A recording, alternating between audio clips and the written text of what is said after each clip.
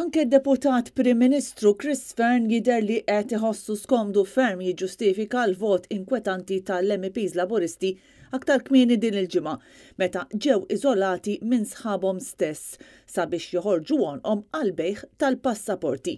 Mistoqsi minn Net News waqt konferenza tal-aħbarjiet, Chris Fearne għażel li jaħrab il-mistoqsijiet u kien għalhekk li eżatt wara insistejna ma' Fearne li jwieġeb id-domandi tagħna. Ma tridx tgħidilna jekk taqbilx mal-vot tal-MEPs Laburisti? Inti Deputy Leader, Dottor Fearne.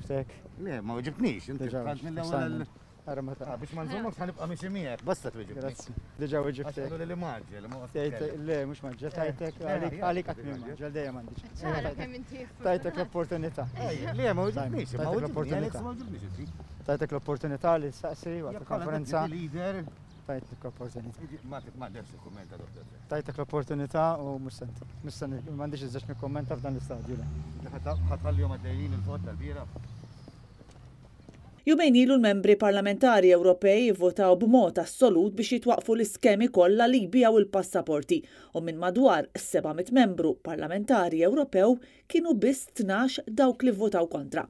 Erbgħa minn dawn kienu l-MEPs ta' Robert Abela. Alex Agius Saliba, Jasean Cutajar, Cyrus Engerer u Alfred Sant.